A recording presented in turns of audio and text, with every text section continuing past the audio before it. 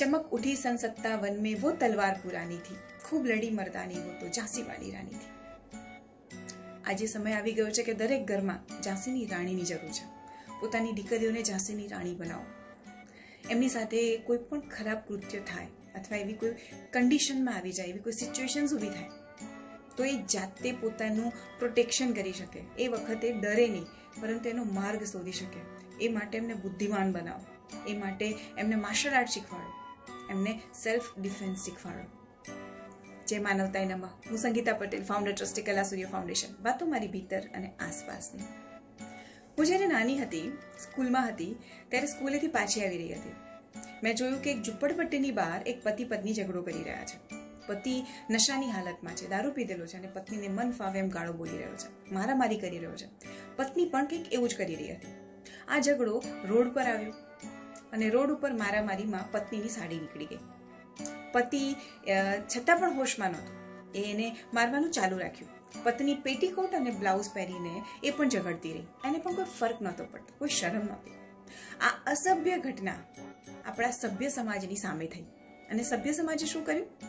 તમાશો જોયો અને જોઈને આગળ વધી ગયા. મારે શું?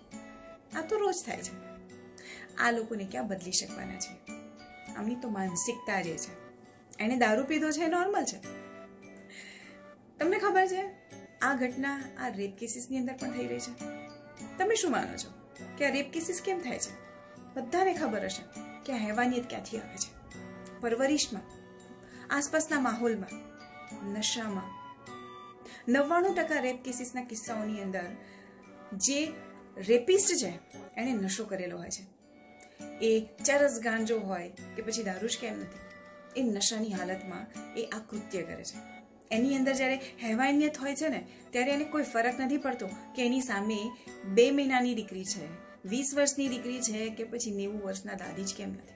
એને તો છોકરીથી મતલબ છે. શું આપણે હેવાનિયત રોકી ના શકીએ? અઘરું છે, અશક્ય નથી, જો આપણે બધા એકજૂટ થઈ શકીએ. કોઈ બીજાને બદલવાની જરૂર નથી. આજથી નક્કી કરો ને કે મારા ઘરને હું સંભાળીશ. હું મારી જાતને સંભાળીશ. પોતાની જાતને વચન આપો ને કે હું નશો નહીં કરું. હું મારા ઘરને નશામુક્ત બનાવીશ. મારા ઘરની અંદર હું સંસ્કાર આપીશ કે એમને ખુશ રહેવા માટે હેપી ઝોનમાં જવા માટે નશાનો સહારો નહીં લેવો પડે. નાના નાના છોકરાઓ, સ્કૂલમાં ભણતા છોકરાઓ, કોલેજના દીકરા દીકરીઓ નશો કરે છે. અને બિંદાસ કે છે હેપી ઝોન મળે છે. તમે પણ ટ્રાય કરો. તમને ક્યારે રડવું નહીં આવે? રડવાનું શું છે તમને ખબર પણ નહીં પડે. શું આપણું વ્યક્તિત્વ એટલું પાંગડું થઈ ગયું છે કે આપણે ખુશ રહેવા માટે આવા નશાની જરૂર પડે છે?